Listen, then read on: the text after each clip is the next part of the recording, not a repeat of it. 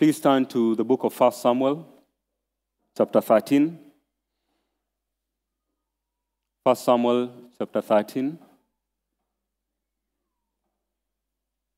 This is the, I say this is the highest point of our time of worship. Whenever we read the Word of God, how precious it is that it is the most precious moment in our time of worship because we get to hear from God. We, as we read these sacred passages, God is speaking to us. And so I will ask us to, as we read, and as, uh, or rather, as I read, and as we look at this passage, that our hearts will be lifted up to God.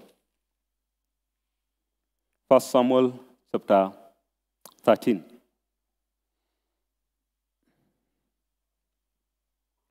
Saul lived for one year and then became king. And when he had reigned for two years over Israel, Saul chose 3,000 men of Israel.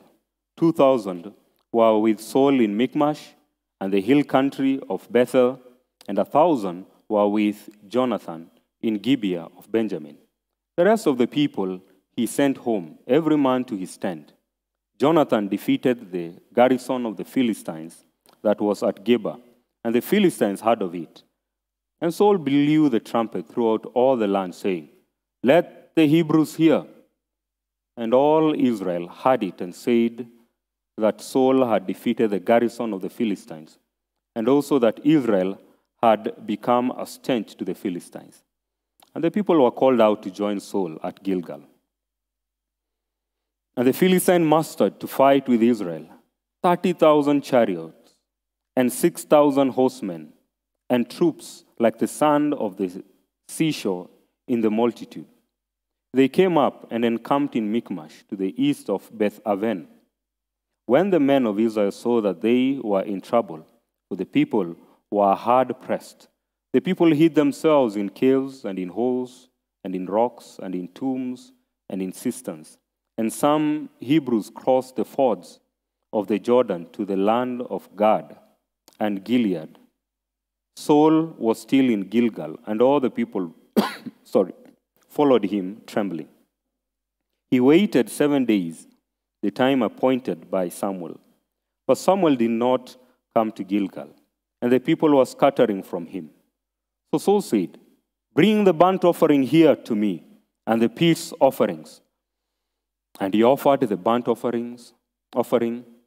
As soon as he had finished offering the burnt offering, behold, Samuel came, and Saul went out to meet him and greet him. Samuel said, What have you done? And Saul said, When I saw that the people were scattering from me, and that you did not come within the days appointed, and that the Philistines had mustered at Michmash, I said, Now the Philistines will come down against me at Gilgal. And I have not sought the favor of the Lord. So I forced myself and offered the burnt offering.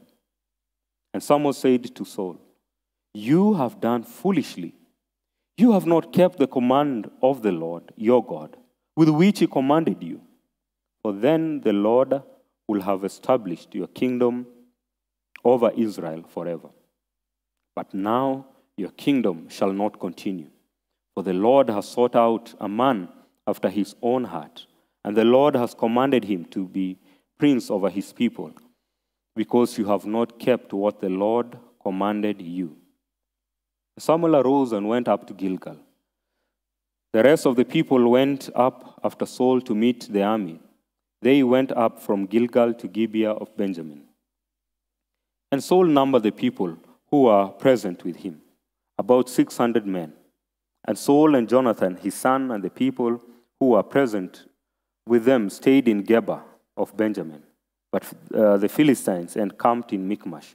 And the raiders came out of the camp of the Philistines in three companies. One company turned toward Ophrah to the north land of Shual. Another company turned toward Beth Horon. And another company turned toward the border that looks down on the valley of Zeboim toward the wilderness. Now there were no blacksmiths to be found throughout all the land of Israel. For the Philistines said, Lest the Hebrews make themselves swords or spears. But every one of the Israelites went down to the Philistines to sharpen his plowshare, his mattock, his axe, and his sickle. And the charge was two third of a shekel for the plowshare and for the mattock, and a third of a shekel for sharpening the axe and for setting the goads. So on the day of battle, there was neither sword nor spear found in the hand of any of the people with Saul and Jonathan. But Saul and Jonathan, his son, had them.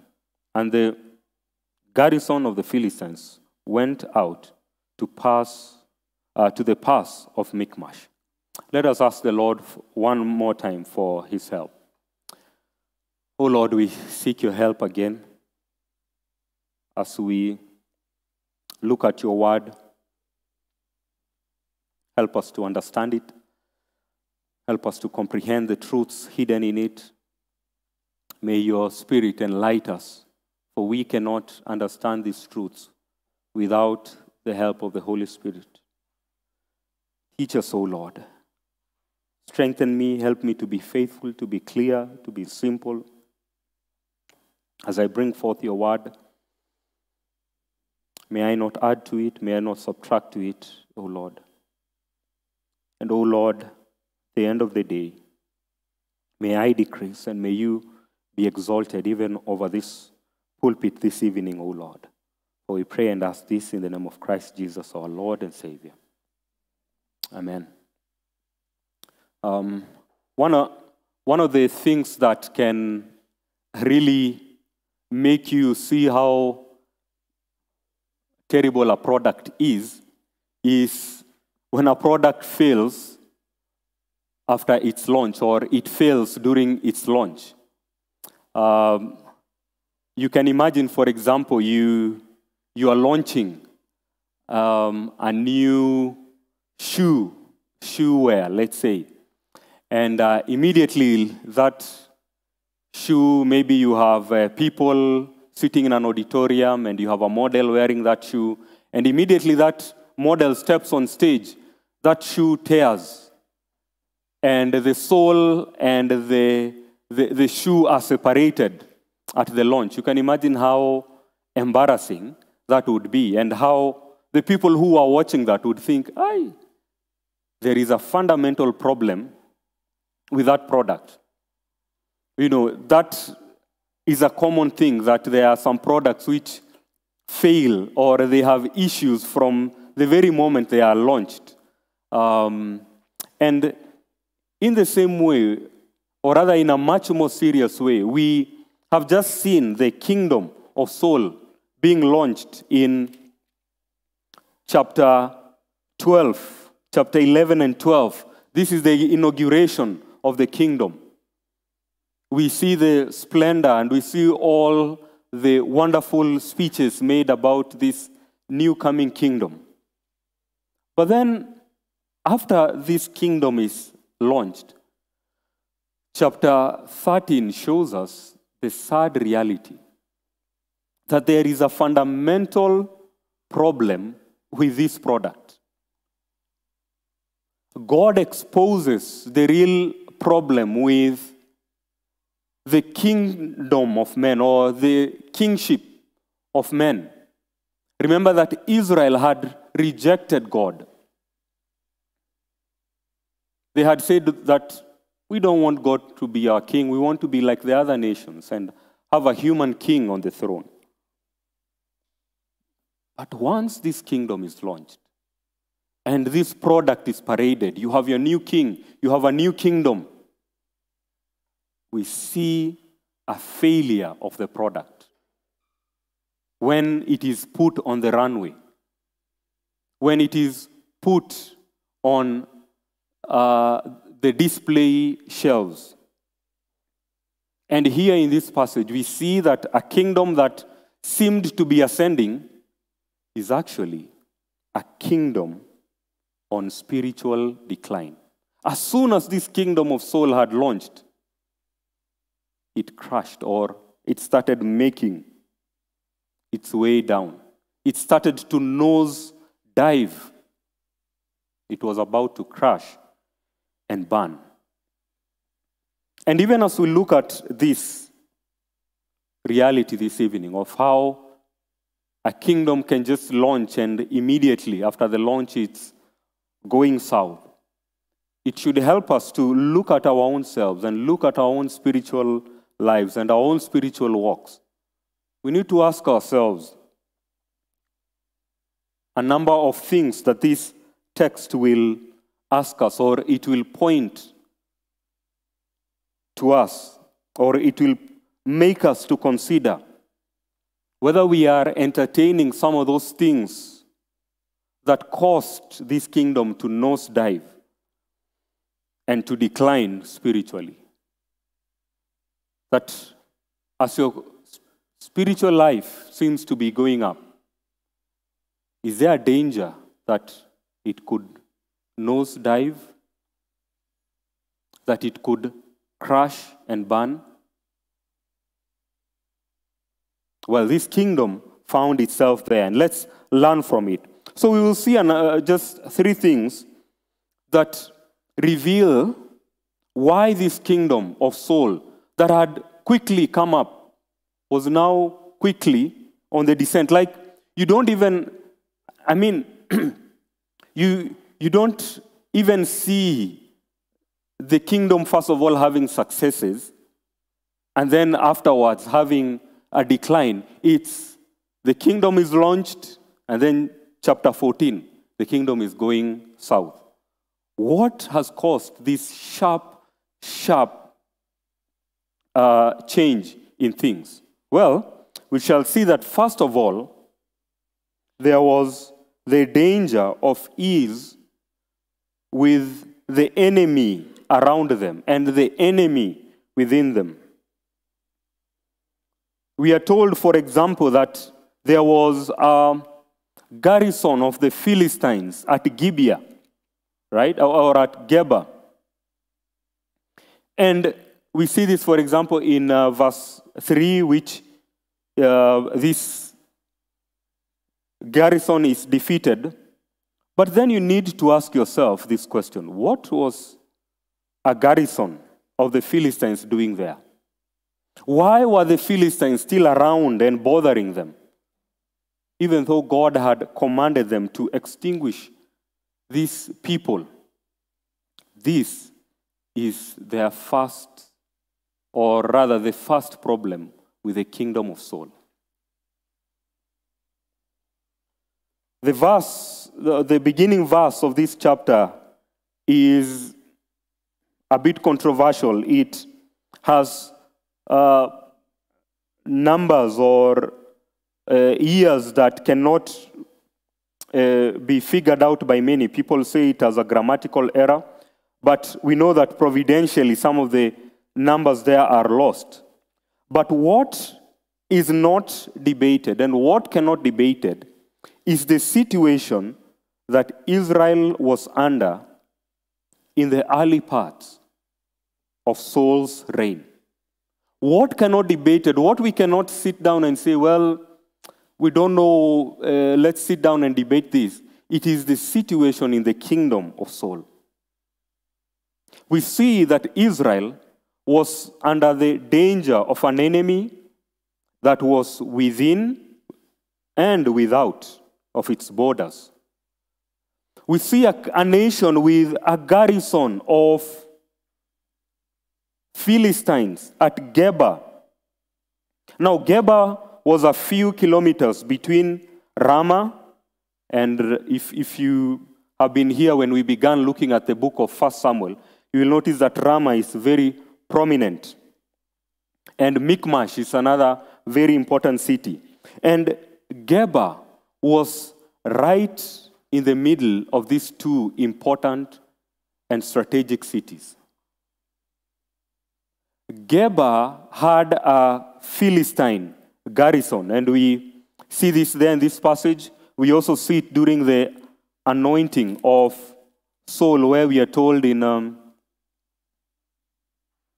in chapter 10 and verse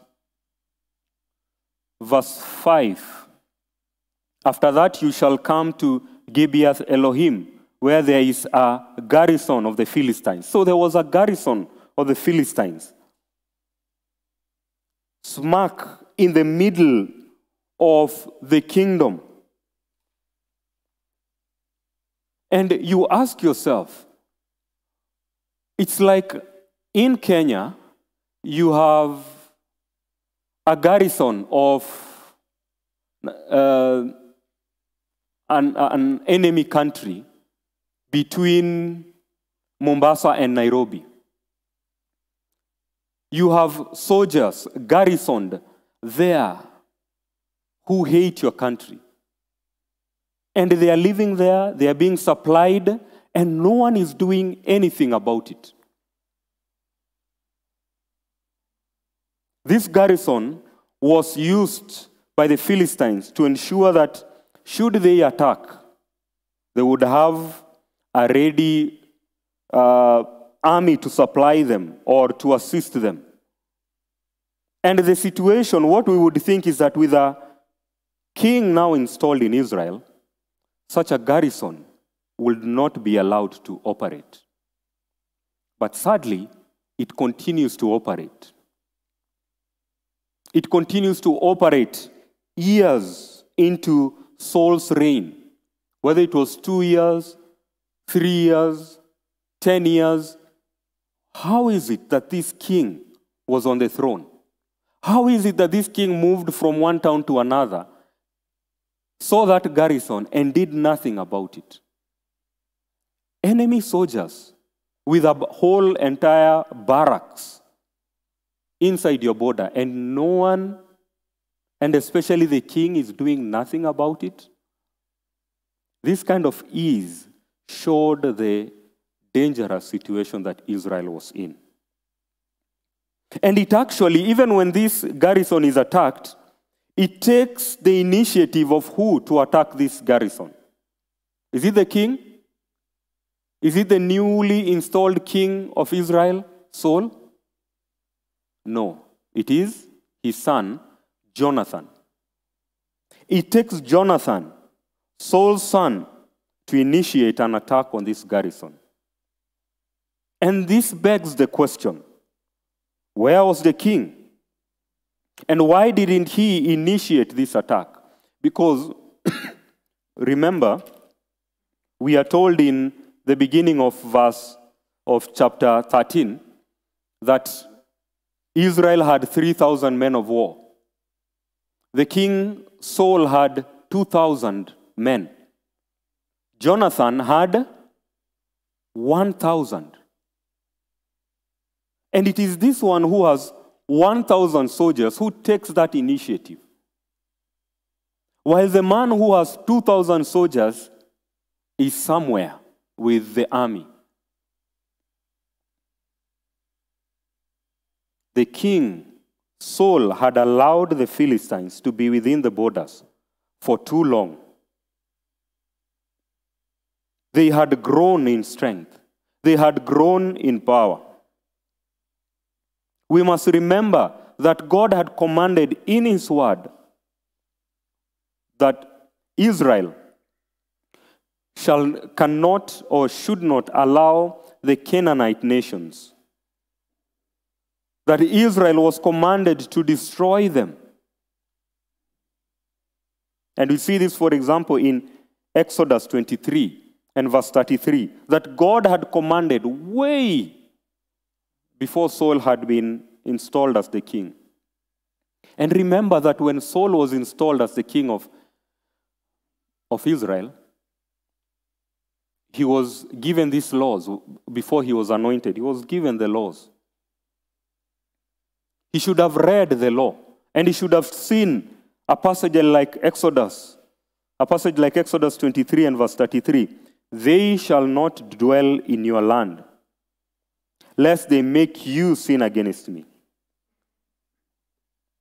Right? So God had said in many places, do not allow them to dwell in your land. Do not allow them within the land that I have promised you. Do not allow, allow them inside your borders. And there is a garrison of the Philistines. And the king is doing nothing about it. His son is the one who initiates this attack.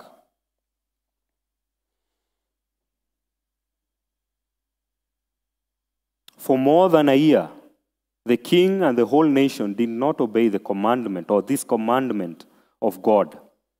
And this gave the Philistines time to grow and to prepare for war, and to weaken and to disarm the Israelites.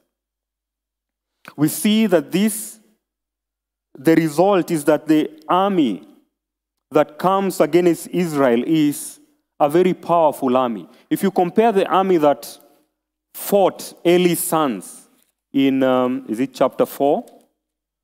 Chapter 5 and chapter 6. This is a very different army. This is an army that has grown. We are told and they mustered what? 30,000 chariots. Where did they get the time to grow? In building such an army, in building chariots. Where did they get the time of having 6,000 horsemen, probably buying horses from other people or getting them from somewhere? It is because Israel was at ease. Israel was okay with the Philistines. Let's not rock the boat. Let's not start uh, fighting the Philistines, even though God has commanded it. Maybe let's just give it some more time. But the more time they gave to their enemies, the stronger they became, the more powerful they became. And by the way, isn't this also the same thing that happens in our own lives? That the longer you ignore the commands of God, the stronger a sin that you are entertaining grows strong, isn't it? The more you delay to deal with a sin, the more you are at ease with a certain situation. You know that this issue or this situation might put you into temptation to sin. The longer you allow it to be there, it is growing stronger it is growing much more powerful. How many times are those when your pet sin was simply acute sin, fuzzy, looking good, fluffy, but then after some time it has become a monster with sharp teeth, big claws, and a hunger that cannot be satisfied. We must not be at ease with those things that God has commanded us. Finish off, take away, remove, flee from them. We cannot be at ease with them. This is the situation that Israel was in. They were walking in disobedience. They did not, or the king did not seek to attack the Philistines. When we walk in disobedience, when we do not, when we do not advance in our spiritual lives, when we do not pray, when we do not love one another, we weaken ourselves and we allow the enemy within and without, to grow strong. That's a dangerous thing. To be at ease with an enemy, to allow a whole garrison. Saul, you are a whole king. You have 2,000 men. What is that garrison doing there? It is only giving time. It is giving the Philistines a foothold to grow and to be strong. This is the danger. And this is why then there is a sharp decline. It, we, medically, it's described as a congenital problem. The, the kingdom had a problem from the time it was birthed. That here was a king who was not ready, not willing to do his work. But then, secondly, we see that there is another issue. So they are not only in danger, or rather, the decline is not only brought about by the danger of them being at ease with their enemy, within and without, but there is also the danger of presumption and pride. This kingdom is in big danger.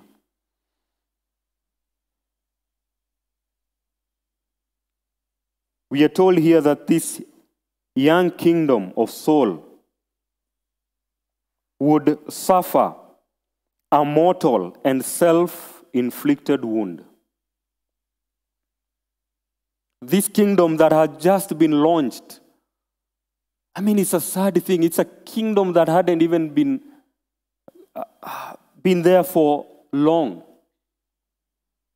But yet, it has a mortal wound, and a mortal wound that is self inflicted. His kingship and the nation are now in great danger due to the sin of pride and presumption.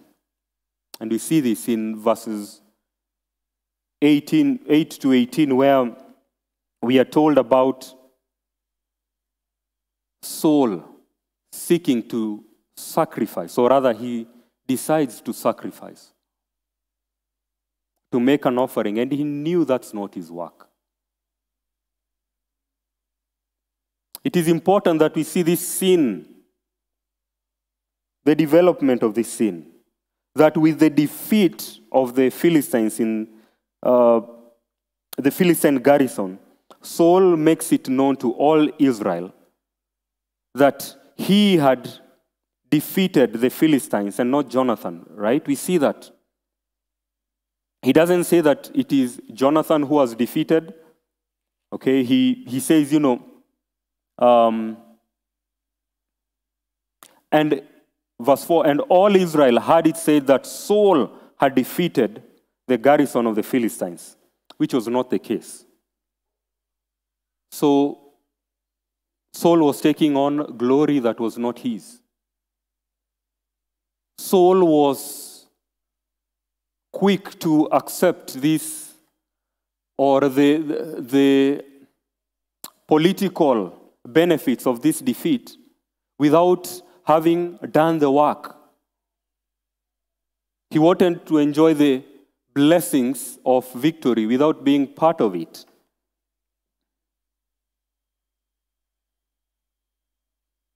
And we see that Saul then gathers all the nation for war.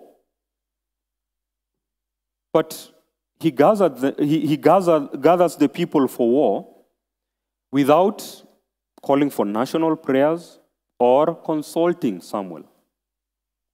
So that's another mistake. So we see one sin leading to another sin, to another sin, and eventually to a very big sin. That first of all, let it be known that it is Saul who was defeated. So taking glory. But then the next thing is that with that victory, he decides, okay, let me take the next initiative. Let me now gather the people for war. But the custom was that before going to war, that the people of Israel would always go to who? To Samuel. They would always go to Samuel and ask Samuel, please, what is the will of God? Or they would at least pray. This is the what is set out for them. At least in the defeat of the Ammonites. That Samuel plays an important role in the defeat of the Philist, uh, of the Ammonites in chapter 11, such that you know the people actually uh, view this victory as a victory of Samuel and Saul. But then when Saul decides to go to war, no prayers, no consulting the word of God. That's a serious, serious sin of pride. That's serious presumption. You think that because you are the king, God will be with you? That's some serious presumption. And now we might read this and think, wow, why would Saul do, do that? But don't we also do that in one way or another? That we make these big decisions in our lives. We make these big decisions as families without even prayer, without even taking time to just say, let's pray, let's, let's seek the Lord. Let's ask the Lord which is the best way. Let's ask the Lord to give us wisdom. That was a serious, serious sin. But then to add on to this, we are told that Saul goes to Gilgal. And with the news that the Philistines are gathering and that the people are scattering, Saul is anxious. And he now suddenly remembers Samuel and wants a sacrifice to be made. So, when things are now getting into trouble, when before he gathered the people, he didn't see the need to, for prayer.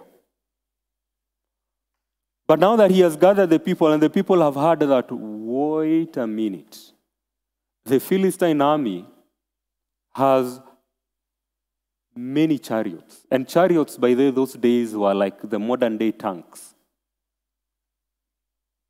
You're going to fight an enemy with chariots. Then he decides, oh, I think we need to pray. But then, if you look at this passage and how the author puts it, the reason why he seeks after God and seeks after Samuel is not really because now he wants to be sorted with God. It's rather he has noticed what? That the people are scattering. Right? And this is what we see that in verse 7, verse 6 and 7, the people are hiding. The army that he had, people are hiding in caves, in holes, in rocks, in tombs. What kind of fear was this that even people are hiding in tombs? And Saul is there waiting for Samuel to come. And in verse 8, but Samuel did not come to Gilgal, and the people were scattering from him. And because the people were scattering from him, verse 9, so Saul said, Bring the burnt offering here to me, and the peace offering. And he offered the burnt offering.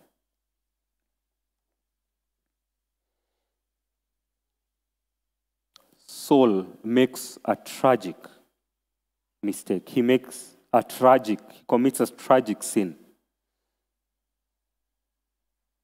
He decides that to appease the people, to keep his army together, let me do this religious thing so that the people may know that God is with us.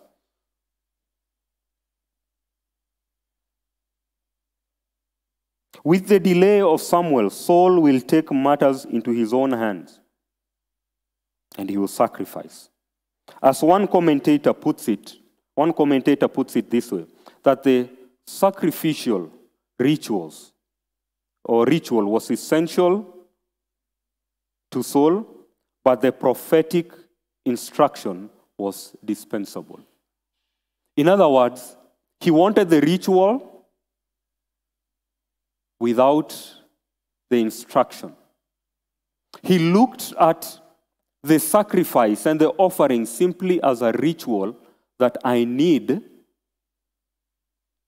without the commandment without the instruction of the prophet. Because these two are connected.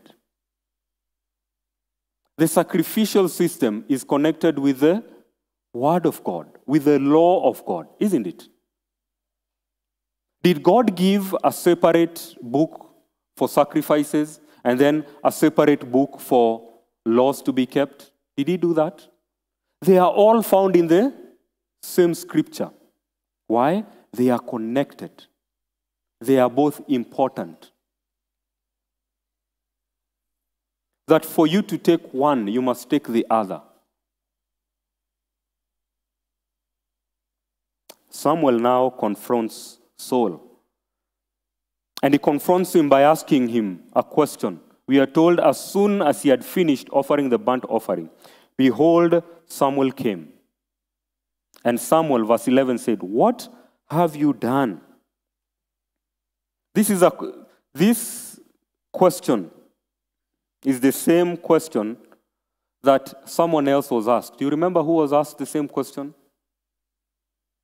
A similar question Where are you? Adam, right? Such questions in the Bible, when you look at such questions, they are not questions where the one who is asking wants to gain information. When God asked Adam, Where are you? God already knew where Adam was hiding.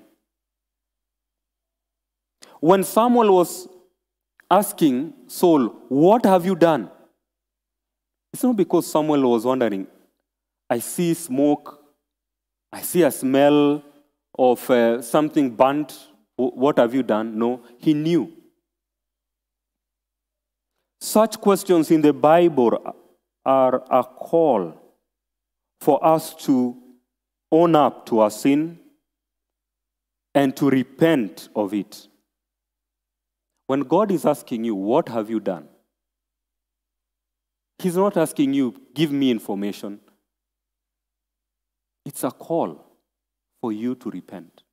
It's a call for you to not only own up to your sin, like Pastor Eric helped us to see, it is a call for you to see your sin the way God sees your sin. God wants to see what you have done in the light of His Word, and He wants you to repent from it. But then, like our father Adam, instead of repenting of his sins and seeking the mercies of God, Saul does what? He shifts the blame. Right? when I saw that the people were scattering from me, and that you did not come within the days appointed. So he presumes on God. He offers a sacrifice that he wasn't um, to offer. He knows he has sinned. Instead of just saying, Samuel, I have sinned, I have just offered a burnt offering and a peace offering. I should have waited for you. Please pray to God for Him to forgive me. Pray and ask God, please plead for me before God. The sin of presumption now becomes pride. It's not my fault, it's your fault. The reason I'm in this sin is because of your, your weakness. Your failure, Samuel, got me here. You did not come within the days appointed. Saul should have been patient. Saul should have waited. Even if Samuel had delayed and the Philistine army was at the doorstep, he should have waited. He should have been patient. should have just said, you know what, I can't offer. It is not in my place to offer this burnt offering. That even as my army is leaving, I'd rather be left with three people here as I wait for Samuel than sin against God. But in his presumption, taking up or doing something he is not supposed to do and thinking that God will accept it, he grows into a deeper sin. this is one of the signs of a hardened heart. When one not only refuses to repent or acknowledge their sins, but they blame others for their sin. Like Adam, he wants to blame his sins on, a, on the failures of others. Now, it is true that others or situations outside us can tempt us. But to sin or not to sin is our personal responsibility.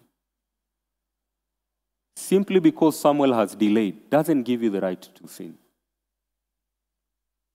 Simply because you feel that God has delayed on something, it doesn't give you the right to sin. It doesn't give you the right to take matters into your own hand.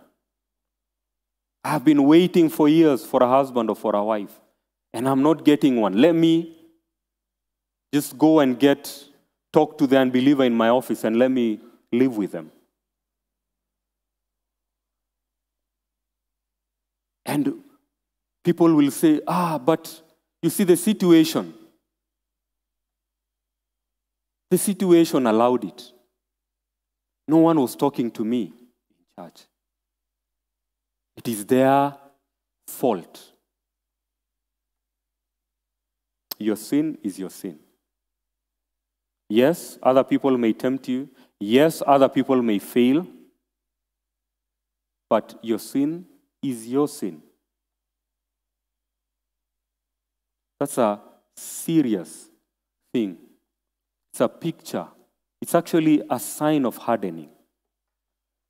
If you are there in your spiritual life, if God is convicting you of sin, if people are pointing you to your sin, and you keep on pointing to others as to the reason why you are living in sin and wallowing in sin and swimming in sin, that's, that's some serious hardening.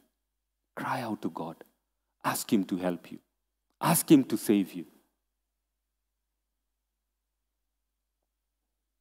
The end is that God rejects him and his descendants from the throne of Israel forever.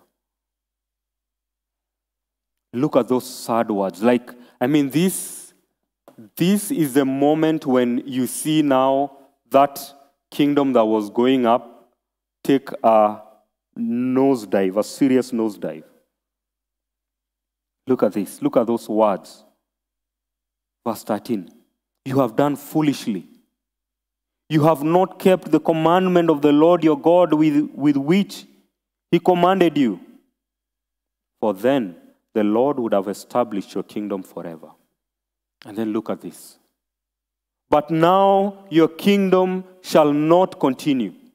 The Lord has sought a man after his own heart, and the Lord has commanded him to be prince over his people, because you have not kept what the Lord commanded you. I mean, those words must have been sharp. Reading this passage, having read it a number of times, I, I just look at them and I wonder, you know, if they were spoken to me, if I was Saul at that time, I mean, this, this should crush a man. This should make you to fall down on your knees and cry. That God would say, I have rejected you. I have rejected your descendants. Not just you, your descendants. And I have even gone further. I have chosen another man to replace you.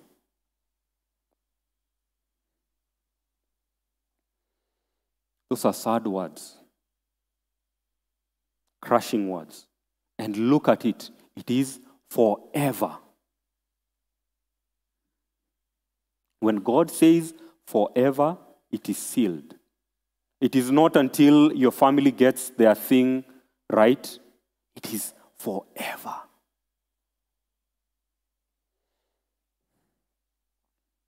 This is a serious judgment. But as we look at the laws of this passage, here's the good news that as this passage speaks about David being the man after God's own heart. David as the man who God will make king.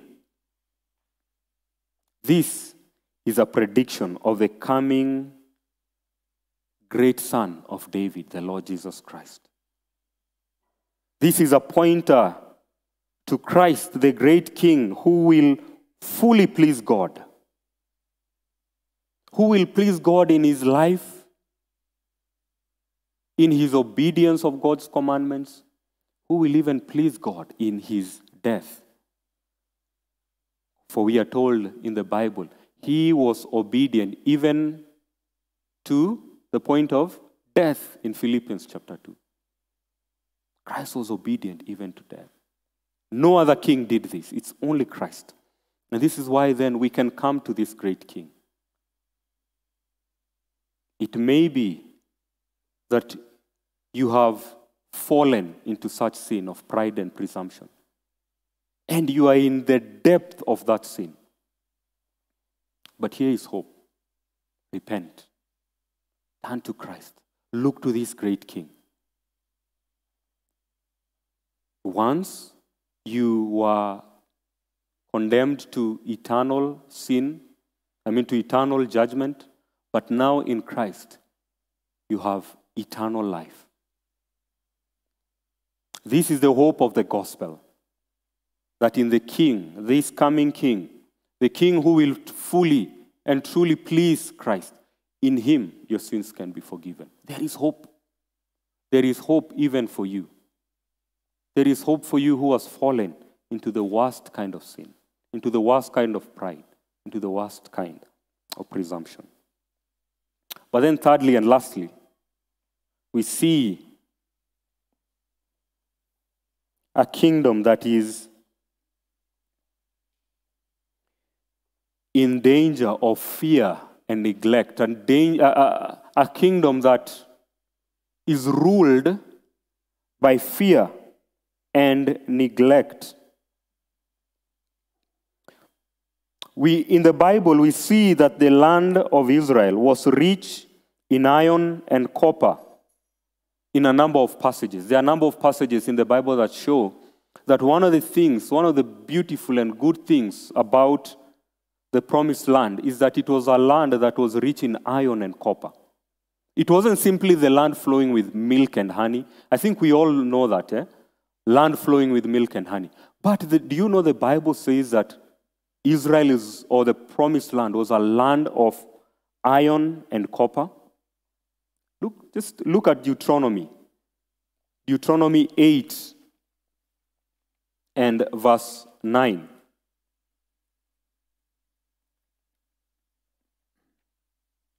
And see what God says about the promised land.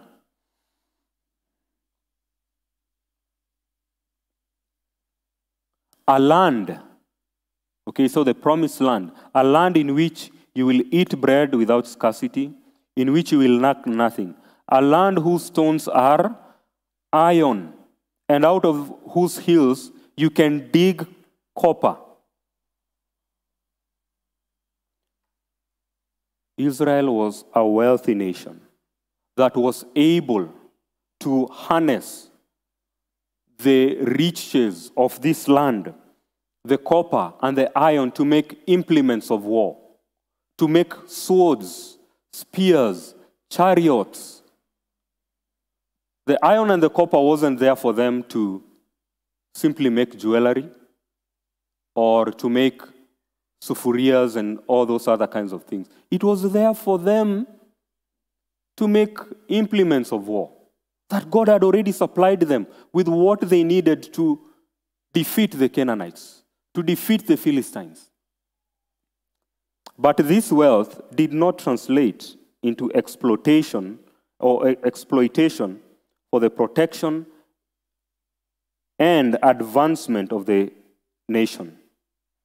Rather, in this chapter, we see a nation that was weakened and made to be dependent on, the, on an enemy nation.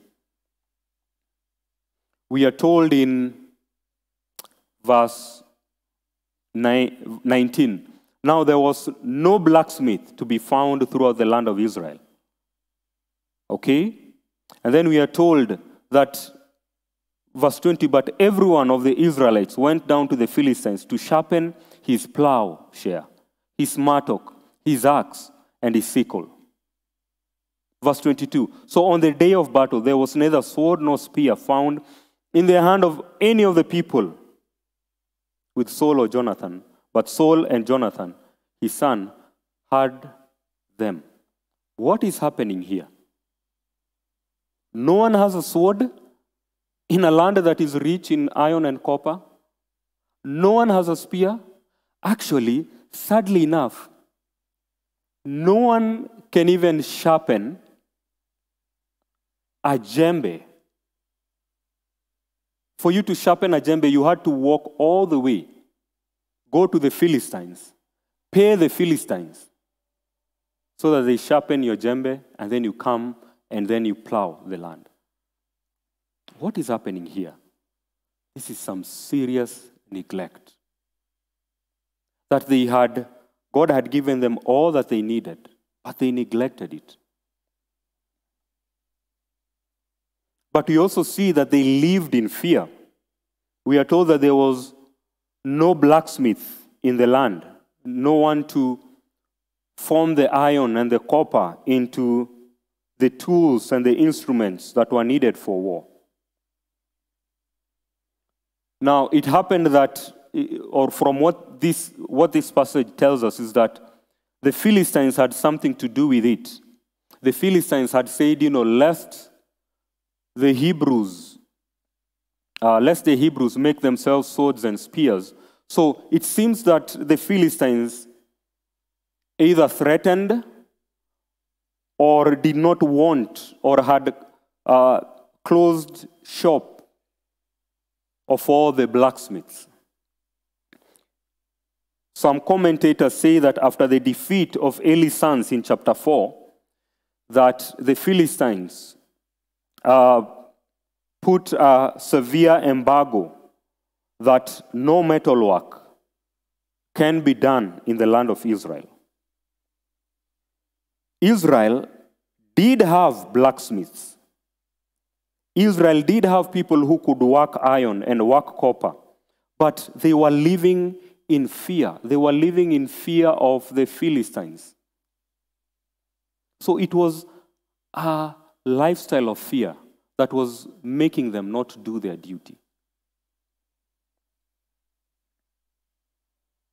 But it was expected that with the coming of Saul, that one of the things that ought to have been done is to reverse this, isn't it? You are now the king. This should be your first policy.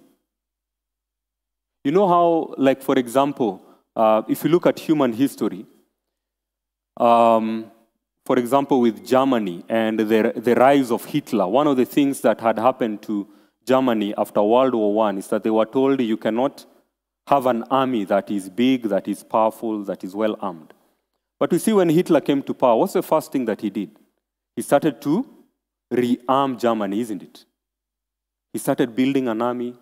He started building um, aircrafts for war, artilleries, uh, bomb making facilities, and all that kind of thing. That was an evil man.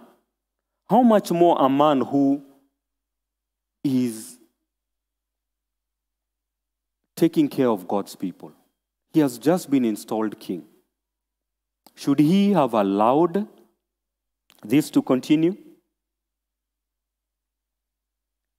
Should he, he have allowed his country to be disarmed? Matthew Henry puts it this way that how unwise Saul was. That he did not, in the beginning of his reign, set himself to redress this grievance. Samuel's not doing it was very excusable. He fought with other artillery, thunder and lightning, in answer to his prayer. But for Saul to leave his soldiers without swords and spears, and to take no care to provide for them, especially when he might have done it out of the spoils of the Ammonite, whom he conquered in the beginning of his reign, was a piece of negligence that cannot be excused. They had just defeated the Ammonites, by the way, in chapter, is it chapter 11? All those swords that and the spears that the Ammonites had, where did they go? He should have used that at least to supply his army. But it appears that some of these spoils of war were not in Israel. Had they been taken by the Philistines? Maybe. Had they been uh, taken by the Israelites to the Philistines for sharpening and maybe held there? Who knows? But the king should have done something. Israel should have done something. The author shows us a nation that was comfortable with the current situation. Out of fear, out of ease, they let things be. They were going down to the Philistines. They were okay, you know. Why should we do this job of sharpening our knives, our swords? The Philistines are doing it for us. Let's just be at ease. And neglect, dear brethren, is one of the things that leads to serious spiritual decline. That you can actually be living in a land that is full of iron, full of copper. That you can actually be part of a church where God's word is preached richly. That you can be part of a family where God's word is preached constantly. But yet, in all that wealth, you are declining spiritually. That in all those blessings, you have never sought to uh, uh, explore them for your own spiritual good. It's sad. It's sad that God's word is preached every Sunday from this pulpit. It's sad that you are part of a Bible study, you are part of a book club. But then look at your own spiritual life. You're declining. What's happening? You are not taking initiative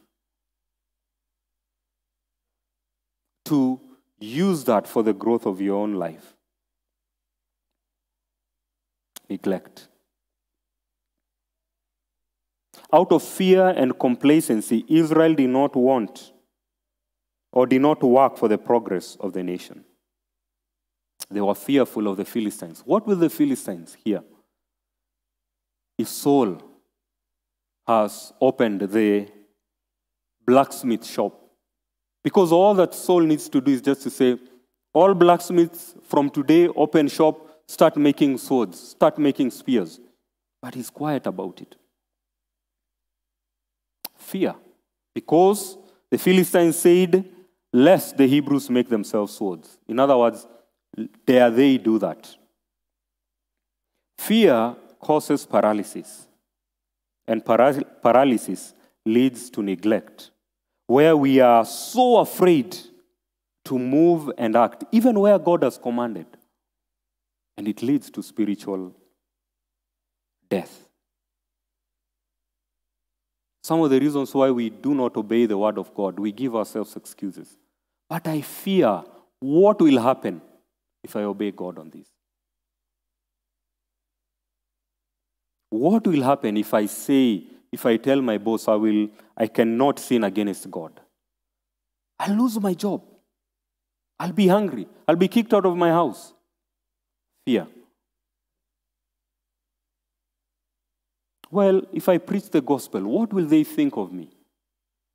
Fear. Fear ultimately leads to neglect.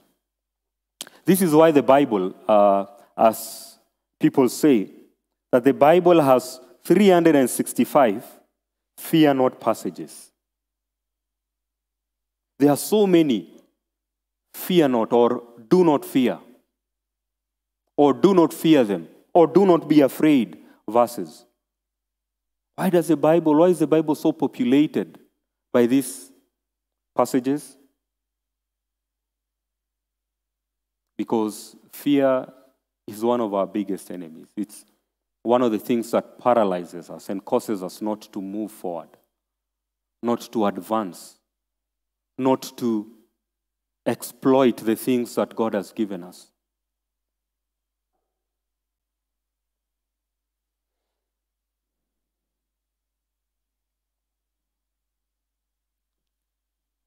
Now, for us who are here, as we look at Israel, for the one who does not know Christ, there's a lot that you fear. Maybe you're asking yourself if I repent of my sins, if I turn to Christ, what will happen to my reputation? What will my family say about me? I will lose my job, I will lose this or that. Or to the believer seated here, you're wondering if I obey God in this one area, it will have consequences. For the unbeliever, this passage do not fear those who kill the body, but cannot kill the soul.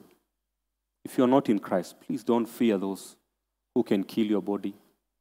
Don't fear those who can starve your body. Rather, fear him who can destroy both soul and body in hell. Fear God only. Turn to Christ, repent, come to him. He will save you. He will take care of you. Even in death, he will take care of you. To the believer, God is our strength. This is why Christ before he ascended, he said, I will never leave you nor forsake you. I will be with you to the end of the age. That's the promise Christ gave. Hang on that promise. Live in obedience. Live in submission to his words. And stand firm in the Lord. Let's pray. Our Heavenly Father, we come before you this evening. We thank you for your word. Oh Lord, we have just seen a kingdom that rose and is in quick decline. We pray that you would help us to watch over our own hearts, that we would not allow ease with the enemy, that we would not go into presumption and pride, that we would not fear man, which causes us to neglect our duty. Oh, help us, Lord. We pray for the unbeliever that they would fear you, for your fear is the beginning of knowledge and understanding. May they turn to Christ. May they know him who is able to give them eternal life. We thank you and we pray this in Christ's name. Amen.